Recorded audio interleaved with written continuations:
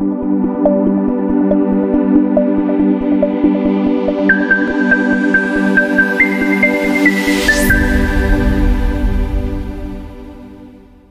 Sobat Pembelajar NLP di mana pun Anda berada.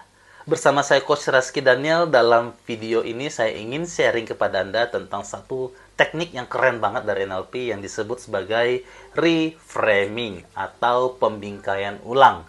Re artinya ulang, framing artinya pembingkaian. Dalam arti yang lain, reframing bisa dikatakan sebagai pemaknaan ulang, memberi arti baru, seni untuk memandang sesuatu dari sudut pandang yang berbeda.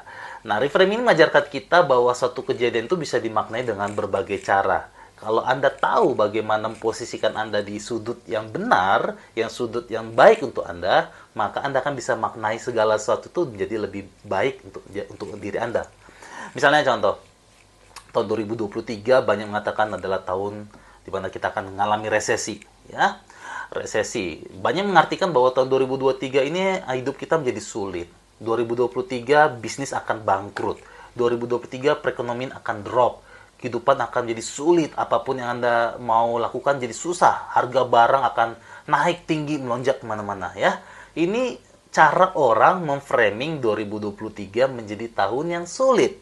Menjadi tahun yang bakal membuat orang banyak menderita. Ya, itu disebut sebagai framing. Dia memilih sudut pandang kesulitan.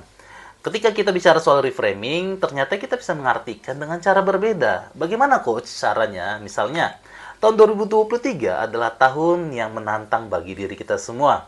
2023 adalah tahun di mana kita harus memiliki kreativitas yang luar biasa. Ketika kita mau belajar lebih banyak lagi, mau melihat peluang yang ada, bisa jadi 2023 Anda akan mendapatkan bisnis-bisnis yang luar biasa ataupun cara menghasilkan duit dari cara yang tidak Anda pikirkan sebelumnya. 2023 menuntut Anda belajar lebih banyak lagi, berkreativitas lebih banyak lagi, melakukan inovasi tiada henti. Kalau Anda melakukannya, 2023 akan menjadi tahun yang berhasil untuk Anda, tahun yang sukses, yang hebat untuk Anda. Nah, ini adalah cara me reframing. Sebenarnya intinya sama, resesi. Tapi dari satu framing, kita melihat ini adalah cara kita ini melihat ini suatu hal yang sulit. Tapi bagaimana kalau kita melihatnya sebagai sebagai suatu tantangan yang membuat diri kita akan menjadi lebih kreatif. Tentu saja hasilnya berbeda. Tentu saja dengan cara makna yang berbeda, apa pun yang kita rasakan, tindakan yang kita lakukan selanjutnya itu akan sangat menentukan. Saya berikan contoh yang lain misalnya. Seorang gadis remaja ya, mendatangi satu tempat ramal ya tukang ramal. Lalu dia masuk ke biliknya dia biasa meramal tentang percintaan ya. Dia ramal. Mbak jadi hasil ramalannya ini adalah dia menikah umur 40 tahun ke atas ya hasil ramalannya. Lalu si peramal ini bilang gini mbak hidup anda menyedihkan. Jodoh anda baru temu nanti usia 40-an sedih ya nanti anda kan baru menikah umur 41 tahun. Itu waktunya di mana ya belum tentu juga. Nanti bisa dapat anak. Itu susah itu tahun-tahun itu masih baik untuk punya anak ya. Tapi memang inilah hidup anda. Anda harus jalani ya.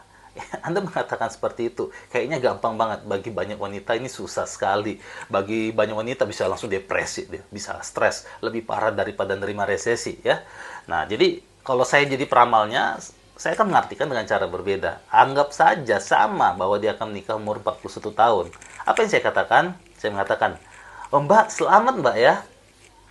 Saya melihat ramalan ini di mana Anda akan mendapatkan banyak waktu bersama ayah Anda, ibu Anda, dan teman-teman Anda.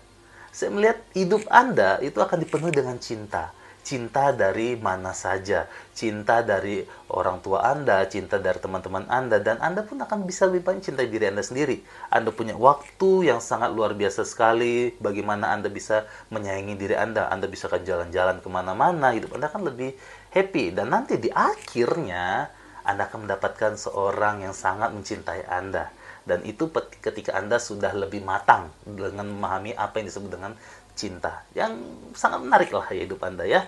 Dan saya rasa nggak semua orang bisa mengalami hidup semenarik Anda. Selamat ya, semoga hidup Anda menjadi lebih baik ya. Bedakan ya, sama-sama eh, apa ya, nikahnya bakal telat lama gitu. Tapi satu mengartikan ya hidup Anda kan sulit, menyedihkan. Tapi satu sisi dia melihat bahwa ini sebuah du, uh, apa ya kehidupan di mana dia akan menemukan banyak cinta-cinta yang lain kan gitu. Jadi cara mereframing.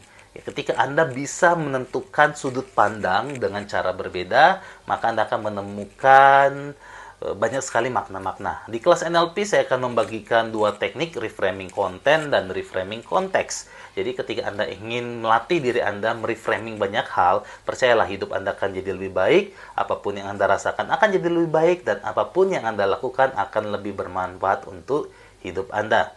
Bersama saya Coach Reski Daniel, semoga video ini bermanfaat. Salam dahsyat, luar biasa.